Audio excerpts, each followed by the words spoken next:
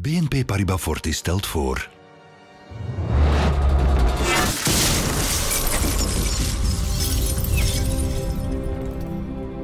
Ik ben, ehm, ik ben een componist eigenlijk. Ik, ehm, ik, ik schrijf muziek, maar ik, ik kan zelf eigenlijk niet spelen. Ik kan een beetje, beetje percussie en een beetje keys kan ik doen, maar ehm, het is wel zo dat ik, schrijf soundtracks, ja, dat is waar. Softwaregewijs flans ik dat in elkaar. Ik doe dat al, al 12 jaar voor het theatergezelschap Abattoir Fermé.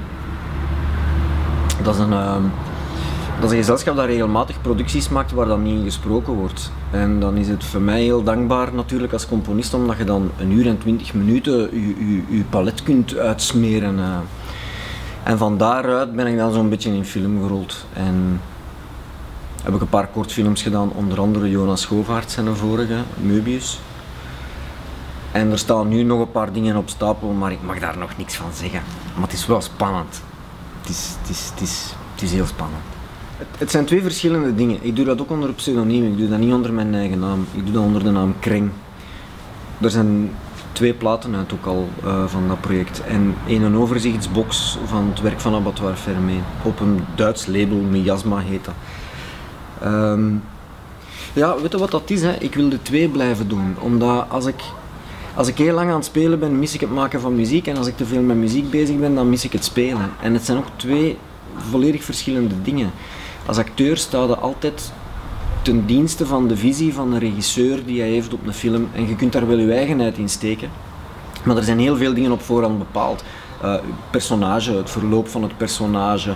Je krijgt ook altijd een, uh, eh, eh, ja, ja, wij noemen dan een bijbel, dat is een, ehm, een karakteromschrijving van dat personage. Die heeft een historiek, die heeft een, reden om daar te zijn. Dus dat, allemaal bagage, dat komt allemaal mee. Als je als muzikant begint te schrijven, heb je een wit blad.